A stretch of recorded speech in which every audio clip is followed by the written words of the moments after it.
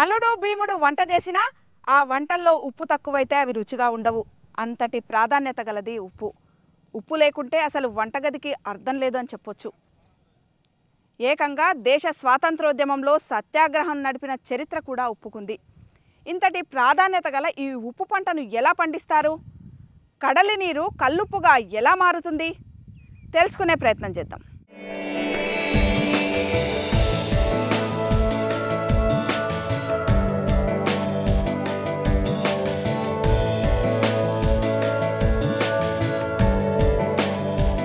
బదులుగా మంచి కూర నలపాకము చేసిన నైనను నందు నింపొదవెడు ఉప్పు లేక రుచిపుట్టగా నేర్చునటయ్య భాస్కర అన్నారు మారన వెంకయ్య కవి.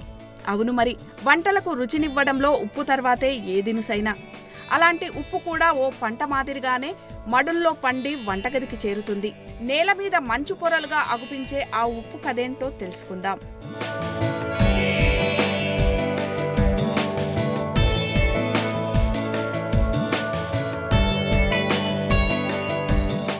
ఆంధ్రప్రదేశ్లో సముద్ర తీర ప్రాంతాల్లో చాలా చోట్ల ఉప్పు తయారీ కనిపిస్తుంది.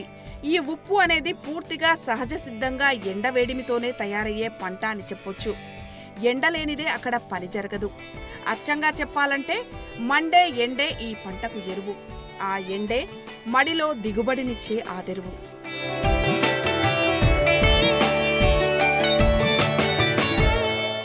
ఉప్పు పంట అనేది ఆరు నెలల పంటగా చెప్పుకోవచ్చు.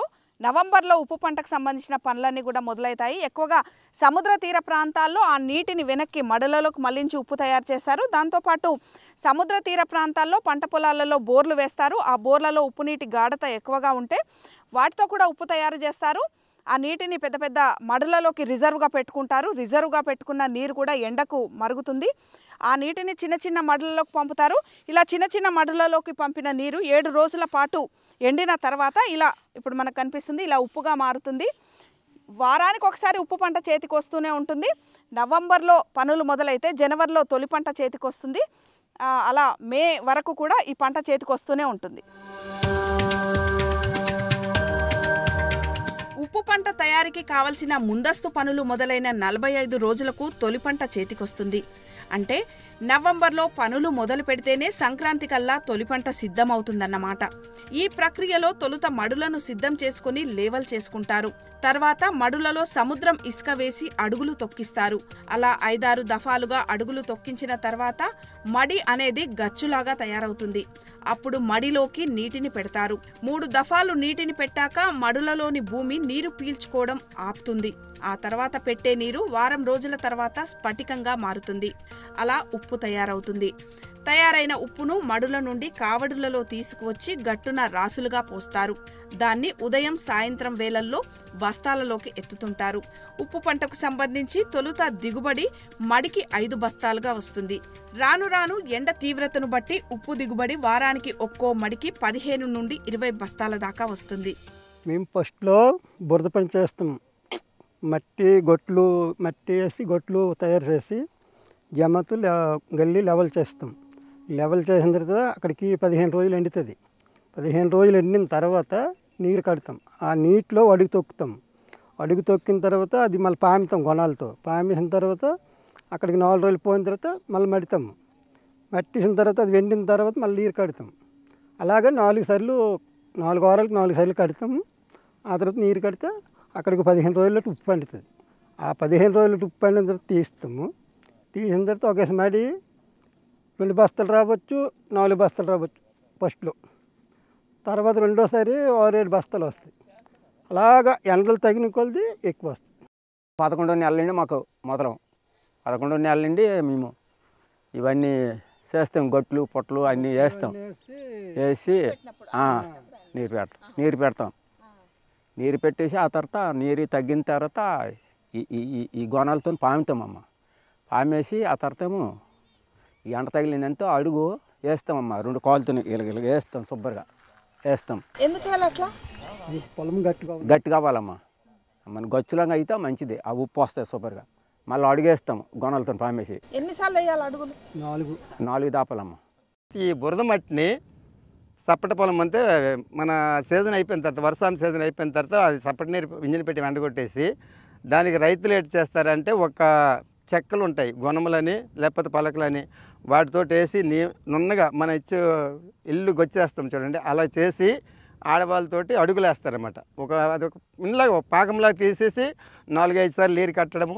కట్టిన తర్వాత దానికి మళ్ళీ నిగట రాత రాతలని ఉంటాయి. రాసిన తర్వాత ఆడవాళ్ళు పెట్టి అడుగులు వేసిన తర్వాత మళ్ళీ నీరు కట్టడం అలాగే ఒక నెల రోజులు నలభై రోజులు దాన్ని శ్రమించితే భూమి ఏంటంటే కాలుతోటి బూటుతో తనని అచ్చి ఆరకూడదు అంత స్టాండర్డ్ మన గొచ్చులాగా వేసిన తర్వాత ఒకసారి మన ఈ మరగబెట్టిన నీరు ఉంటుంది కదా డిగ్రీ వచ్చిన నీరు ఒకసారి ఒక రెండు ఇంచులు మూడు ఇంచులు కడితే అదొక వారం రోజులకి పది రోజులకి మామూలుగా మొత్తం ఉప్పు తెల్లగా పండుతుంది.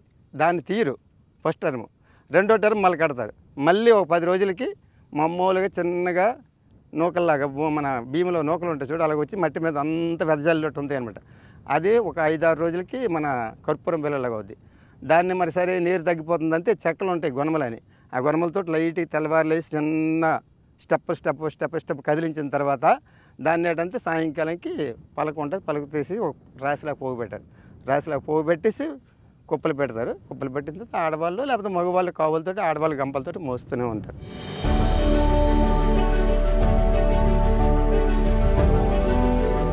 సాధారణంగా రైతులు వానల కోసం ఎదురు చూస్తుంటారు కానీ ఉప్పు రైతులు మాత్రం మే చివరి వరకు ఎండలు ఉండాలనే కోరుకుంటారు. ఎందుకంటే ఎండలు ఉంటేనే వీరికి పంట. వాన పడితే కష్టం కళ్ళ ముందే ఆవిరి. అందుకే ఆరు నెలల పంట అవాంతరాలు లేకుండా చేతికి రావాలంటే ఎండే వాళ్ళకు కొండంత అండ. అలా జనవరిలో తొలి పంట చేతికి వచ్చిన తర్వాత నుండి వారం వారం పంట చేతికి వస్తూనే ఉంటుంది. ఎప్పటిదాకా అంటే వానలు పడేదాకా అని చెప్పొచ్చు. ఆదాయం ఎంత వస్తుంది అంటే ఆరు నెలల పాటు వారు చేసిన కష్టాన్ని బట్టి ఆదాయం ఉంటుంది. ఉప్పు పంట పండించే రైతులు చాలా వరకు పొలాలను కౌలుకు తీసుకొని చేస్తుంటారు. అందుకే ఆరు నెలల పాటు ఉప్పు పంటను పండిస్తారు మిగతా ఆరు నెలలు కూలికి పోతారు. అంటే ఈ పంట మీద ఆదాయం ఆడికాడికి వస్తుంది తప్ప పెద్దగా మిగులుబాటంటూ ఏమీ లేదు.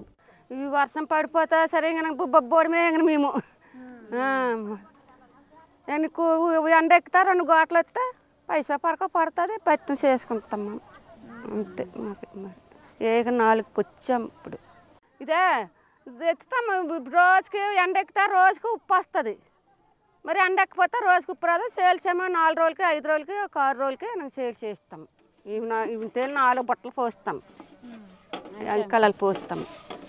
ఆ, నాలుగు బట్టలు. ఇప్పుడు ఒక మడి నీళ్ళు పెట్టినాక ఎన్ని రోజులు- నాలుగు రోజులకి అవుతుందో వారంకి వస్తుంది వారం పది రోజులు. అవుతుంది మళ్ళీ వాన పడిపోతే ఏడో నెల వరకు ఉంటుంది. వాన పడితే అప్పుడప్పుడు వాన పడితే నిలకడ ఉండడమే. రెండు గాలి చినుగులు పడితే కరిగిపోద్ది ఉప్పు. మరి ఉండదు ఉప్పు కరిగిపోద్ది మరి చినుగులు వాన పడిపోతే మేము ఎండెక్కితే ఉప్పు. ఎండ మంచిగా ఉంటే మంచిగా ఉప్పు వస్తుంది. మా ఎండ ఎంత ఎండ తగిలితే అంతే ఉప్పు వస్తుంది మాకు. మా ఎండ తగిలిపోతే లేదు.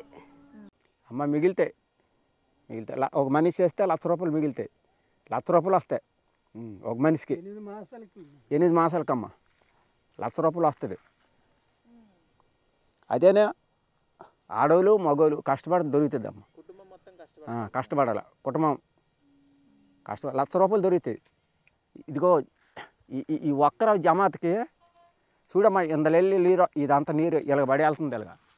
ఇలాగబడి అలాగబడి తిరిగి వెళ్ళి మళ్ళీ అటు పది ఎకరాలు ఉందమ్మా. అలాగబడి తిరిగి ఆ పది ఎకరాల నుండి అక్కడ మోటార్ కరెంటు మోటారు. ఆ నీరేమో ఆ- ఆ పొరులకు కొడతారు. మరిగి రావాలా. ఈ ఎండకి మా ఎంత మరిగితే అంతే మంచిది.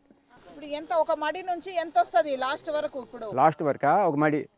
ఒక మడి అమ్మ ఫస్ట్లోను ఐదు బస్తాలు వస్తుంది అమ్మ ఐదు నాలుగు వస్తుంది.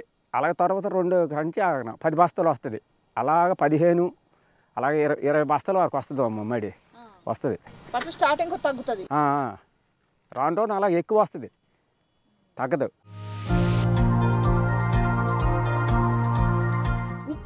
అయ్యే క్రమంలో రిజర్వు మడులది కీలక పాత్ర అని చెప్పొచ్చు. రిజర్వు మడులంటే పెద్ద పెద్ద మడులలో నీటిని స్టోరేజ్ చేసి ఉంచటం అన్నమాట. ఉప్పు తయారీకి సంబంధించి రెండు ఎకరాల్లో ఉప్పు తయారు కావాలంటే మరో మూడు ఎకరాల్లో రిజర్వు మడులు ఉండాలి.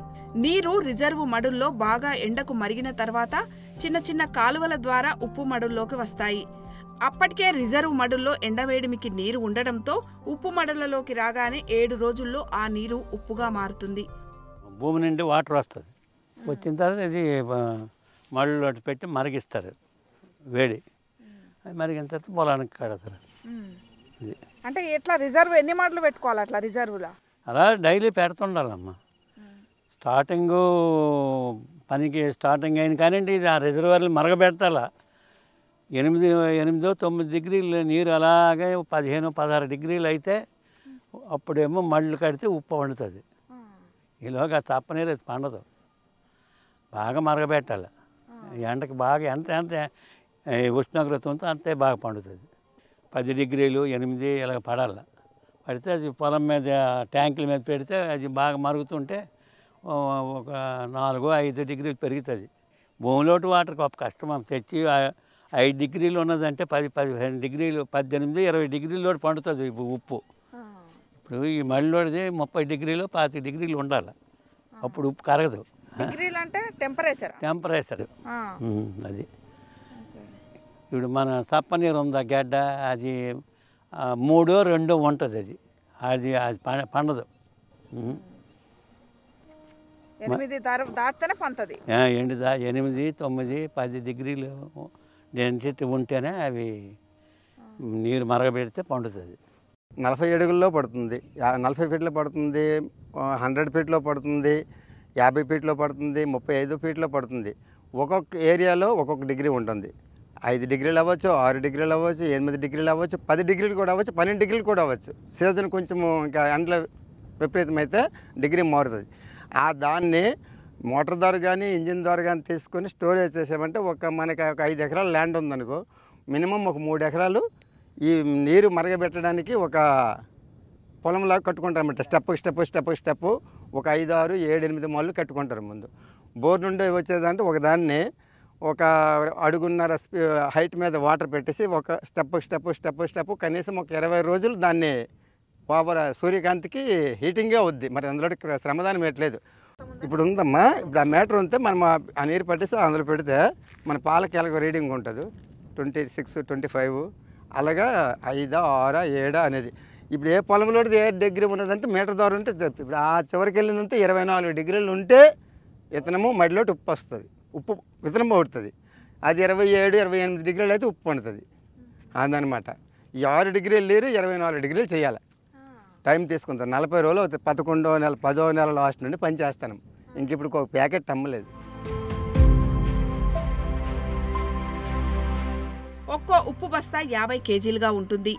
ఈ దిగుబడిలో జమాతాదారు వాటా రైతు వాటా అని రెండు వాటాలు ఉంటాయి. జమాతాదారు అంటే ఉప్పు పొలాలకు యజమాని. పొలాన్ని నీటిని జమాతాదారు ఇస్తారు.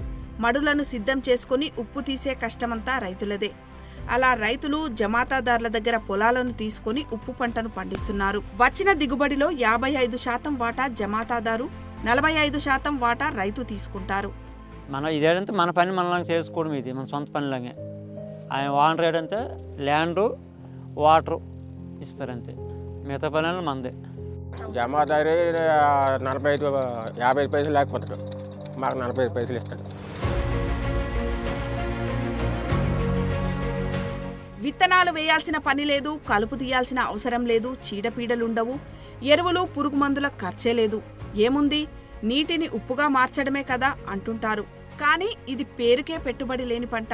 మడులను చదునుగా చేసుకొని తొలి పంట చేతికి వచ్చే వరకు పెట్టుబడి పెట్టాల్సిందే. ఆ తర్వాత కూడా మడులలో ఉప్పు ఎత్తడం బస్తాలను ప్యాక్ చేసి గట్టున పేర్చడం వరకు అన్ని పనులను కూలీలను పెట్టి చేయించుకోవాలి. రైతుకు సంబంధించిన వాటాలోనే రైతే ఆ కూలీ ఖర్చులు భరించాలి.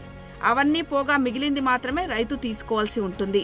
అయితే తరాలుగా అలవాటైన పంట కావడం వేరే ప్రాంతాలకు వెళ్ళి బతకడం ఇబ్బందిగా ఉండడంతో చాలామంది కష్టమో నష్టమో ఉన్న ఊర్లో కలో గంజో తాగి బతకొచ్చు అనుకొని సాధక బాధకాలను భరిస్తూ ఉప్పు పంటనే నమ్ముకున్నారు. పైగా తాము బతుకుతూ పది మంది కూలీలకు పని కల్పిస్తున్నారు. నా చిన్నప్పుడు నేను ఎక్కడేనమ్మా? దేశాలు ఇప్పుడు వెళ్ళలేదు. నా పుట్టిన నుంచి ఉప్పు గల్లీలో ఉన్నాం ఇప్పుడు ఎంత? నలభై ఆరు సంవత్సరాలు ఎంత అవుతుందంటే ఉప్పు గల్లీలే. ఈ ఆరు మాసాలు కష్టపడము ఆరు మాసాలు ఈ వ్యవసాయం పని కూలికి నాలుగు వెళ్ళడం అంతే. ఏదో పని అలాగంతే మరి పొద్దుకులు ఇటు ఉప్పు మట్ల కష్టపడితే ఆ కాళ్ళకి అవి ఏమైనా ఇబ్బంది కదా? మొత్తం మండుతుంది కదా ఉప్పు మండదు కానీ ఈ ఎండతో మోస్తాం. గొట్లు వేడిగా ఉంటుంది అవి కింద అరిగిపోయి కన్నాలు అయిపోతాయి. నీరు కూడా వాటర్ నాలుగు నెలలు ఐదు నెలలు చాలా వేడిగా ఉంటుంది మెడ్లెట్ ఎండతో ఒంటి గంట కూడా వస్తుంది తీదేమా చాలా వేడిగా ఉంటుంది గొట్లు కూడా వేడిగా ఉంటాయి అప్పుడు అరిగిపోతాయి. అంతేగాని మంట గంట ఉండదమ్మా. గొట్లు వేడిగా కాలు మండుతాయి. మన సు- తారు రోడ్డు మీద నడిస్తే ఎలాగో కాలు వేడిగా ఉంటుందో అలాగ అయిపోతాయి. మళ్ళీ డిసెంబర్ నుంచి చుట్టూ మన గొట్టేసి దొమ్మడిలాగా ఉంటుందమ్మా స్టార్టింగ్. అలాగ గీటుకొని మట్టుకొని చేసుకొని నలభై ఐదు రోజులు పని చేయాలా. ఆ తర్వాత మన మడి మన గొచ్చేసినట్టు గట్టి తయారవుతుంది ఆ తర్వాత నీరు కట్టుకొని పది రోజులకి పన్నెండు రోజులకు పదమూడు రోజులకు ఉప్పు అలా తీసుకోవడమే. అంతే ఇసుకంతే ఫస్ట్ స్టార్టింగ్ అంటేస్తుంది. అప్పుడు కరాసు ఉప్పు శాతం ఉండదు. చప్పనిగా ఉంటుంది అంటేద్దని ఫస్ట్ ఇసుక మడికి రెండు కావులు వేసి పలాసగా వేసి దాని మీద మెడితే కాలు కంట కంట సోపుగా వస్తుంది మడి రెడీ అయినాక ఎప్పటి వరకు అంటే ఇప్పుడు డిసెంబర్లో మడి రెడీ అవుతుంది. ఎప్పటి వరకు ఉప్పు వస్తూనే ఉంటుంది దానికి? దానికి జూన్ వరకు.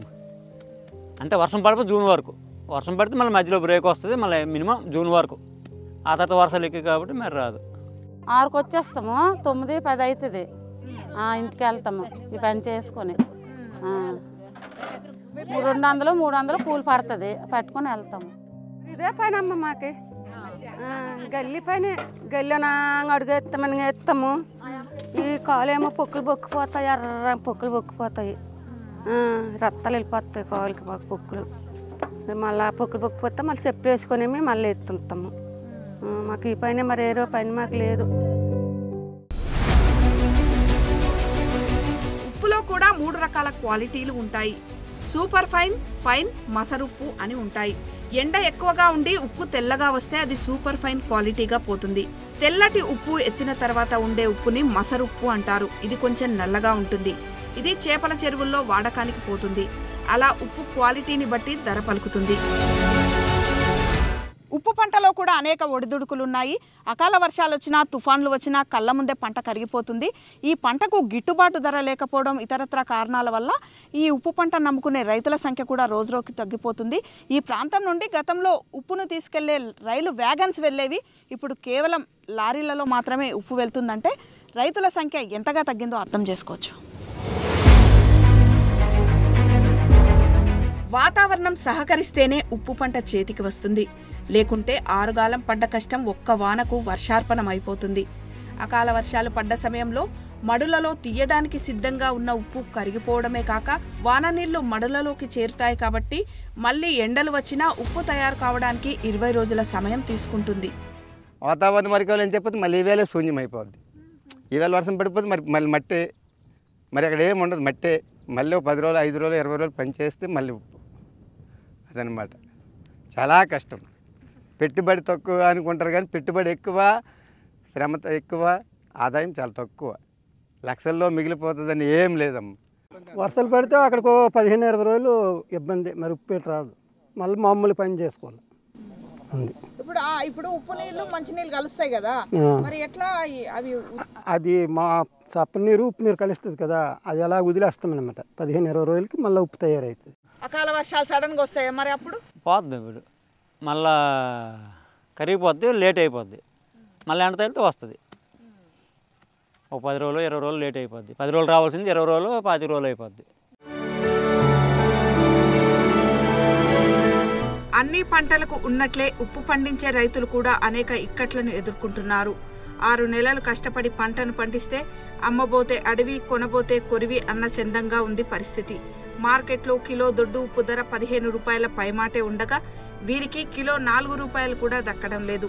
మార్కెట్ మాయాజాలంతో ధరలను వారికి అనుగుణంగా మార్చేసుకుంటూ ఉప్పు రైతుల కష్టాన్ని మధ్య దళారులు దోచుకుంటున్నారనే చెప్పొచ్చు. దీంతో కష్టం ఒకరిది ఫలితం మరొకరిది అన్న చందంగా తయారైంది. ఈవేళనే మార్కెట్ రేపు కూడా మారిపోద్ది. వర్షం పడితే కొంచెం పెరగవచ్చు లేదు పెరగలేదంటే రాజు పండుతున్న కొలది ఈ వారంలో ఇరవై రూపాయలు తగ్గిపోతే వచ్చే వారంలో ఇరవై రూపాయలు తగ్గిపోద్ది.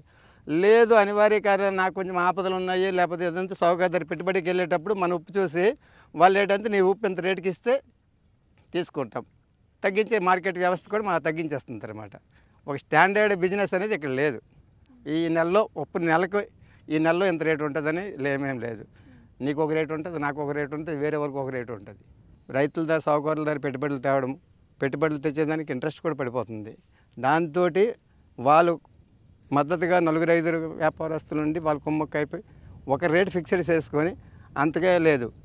ఏది ఈవేళ పది రూపాయలు తగ్గించడము రేపు మార్కెట్ ఇరవై రూపాయలు తగ్గించడము ఏమంత లైసెన్దారులకు రేపు జవాబు ఏంటంటే సౌకాలు రావడం లేదు. బయట బిజినెస్ ఎక్కడ వేరే దగ్గర నుండి ఉప్పు వచ్చేస్తుంది.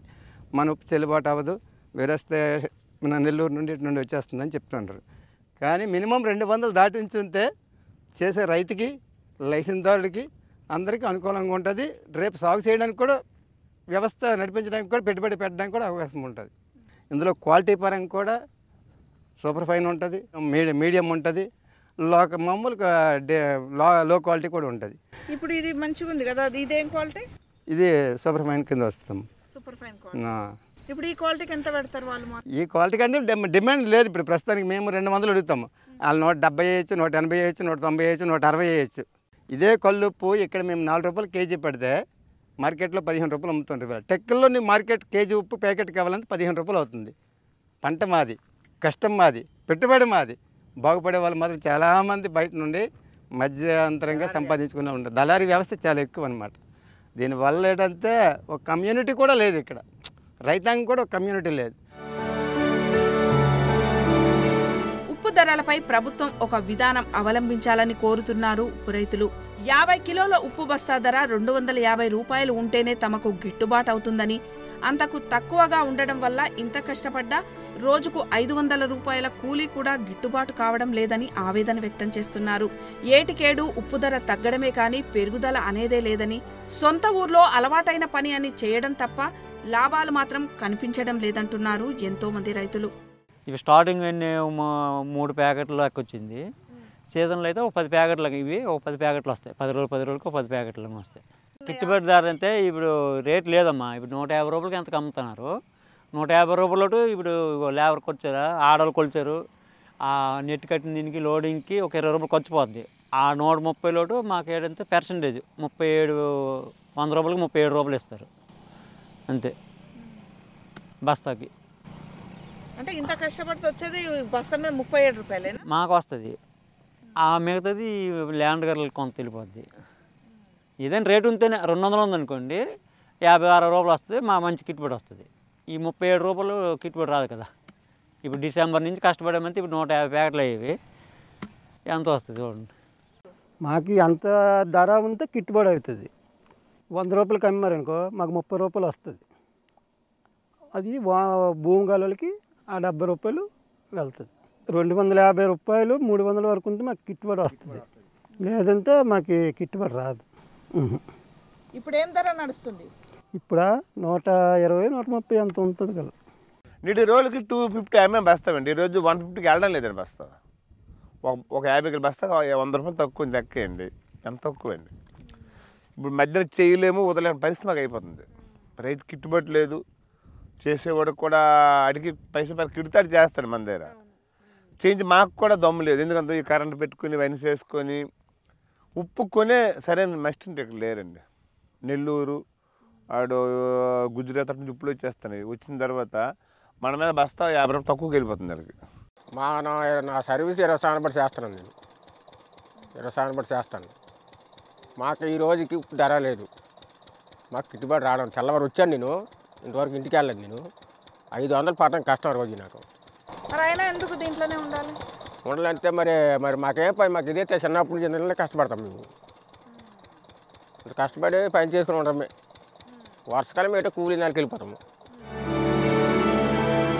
దేశంలో ఉప్పును ఉత్పత్తి చేస్తున్న రాష్ట్రాల్లో మొదటి స్థానంలో గుజరాత్ ఉండగా రాజస్థాన్ మహారాష్ట్ర తమిళనాడు ఆంధ్రప్రదేశ్ ఒడిశాలు ఆ తర్వాతి స్థానాల్లో ఉన్నాయి. అయితే మిగతా రాష్ట్రాల్లో ఉప్పు రైతులకు ప్రభుత్వ తోడ్పాటు ఉన్నా మన రాష్ట్రంలో ఉప్పుకు సంబంధించి ఉత్పత్తి ఖర్చులు లెక్కగట్టి మద్దతు ధరల నిర్ణయం జరగడం లేదని సాల్ట్ కార్పొరేషన్లు కూడా ఆ దిశగా దృష్టి పెట్టడం లేదని దీంతో ఉప్పు రైతులు తీవ్ర ఇక్కట్లు పడుతున్నారంటున్నారు రైతు సంఘ నాయకులు. ప్రభుత్వం ఉప్పు పంటకు మద్దతు ధరల గురించి నిర్ణయం తీసుకుంటేనే రైతులకు ఉపయోగకరంగా ఉంటుందంటున్నారు. మనకు శ్రీకాకుళంలో కానీ చూసినా ఒంగోలులో చూసినా వా ఉప్పు రైతుల యొక్క ఇబ్బందులు మనకు స్పష్టమైనట్టు కనబడతాయి. ప్రకృతి వైపరీత్యాల వల్ల కూడా వాళ్ళకు తీవ్ర నష్టం జరుగుతుంది. దానికి ఏమి గ్యారంటీ లేదు బీమా లేదు ఏమీ లేదు. ఒకటి. రెండవది ఉప్పును సేకరించడానికి ఒక ఎంఎస్పి కనీస మద్దతు ధర ఇంత ఉండాలి అని చెప్పే నిర్ణయం లేదు. కనీసం ఇక్కడ మార్కెట్లో అమ్మే రీటైల్ షాప్ ప్రైస్ వదిలిపెట్టండి. హోల్సేలే తీసుకున్నా ఇరవై ఐదు రూపాయలకు తక్కువ ఉండదు. కనీసం పదిహేను రూపాయలైనా కేజీ వాళ్ళకు ఉండాలి. ఈ ఉప్పుకు ఉన్నటువంటి గవర్నమెంట్ కార్పొరేషన్స్ ఏవైతేనేవో వాళ్ళు ఒక ఎంఎస్పి నిర్ణయించి ఆ ఎంఎస్పికి కొనుగోలు చేసేటటువంటి ప్రయత్నం చేయాలి. ఆ ఉప్పు యొక్క ఎఫ్ఎక్యూ అంటే దాని ఫెయిర్ యావరేజ్ క్వాలిటీని బట్టి ధరలు నిర్ణయించాలి. వన్ టూ త్రీ అలా మూడు రకాలుగా ధరలు నిర్ణయించి first quality second quality third క్వాలిటీగా నిర్ణయించి వాళ్ళకు కొనుగోలు చేసేటువంటి ప్రయత్నం చేయాలి. మార్కెట్ ధరల మాయాజాలంతో చప్పగా మారుతున్న ఉప్పు రైతుల సమస్యలపై ప్రభుత్వం దృష్టి సారించి వారి కష్టానికి తగ్గ ప్రతిఫలం వచ్చేలా చర్యలు తీసుకుంటేనే ఈ ఆరు నెలల పంట రైతులకు ఆనందాన్ని మిగులుస్తుంది. ఉప్పు పంటను నమ్ముకున్న రైతులు దీన్ని తెల్ల బంగారంగా భావిస్తారు. ఈ పంటలో పెద్దగా లాభాలు రాకుండా నష్టం అనేది ఉండదని వారి నమ్మకం. అందుకే తరతరాలుగా ఉప్పు పంటను నమ్ముకునే వారి జీవనం వెల్లదిస్తున్నారు. కెమెరామెన్ సతీష్తో రమ బిగ్ టీవీ సీతానగరం నుండి.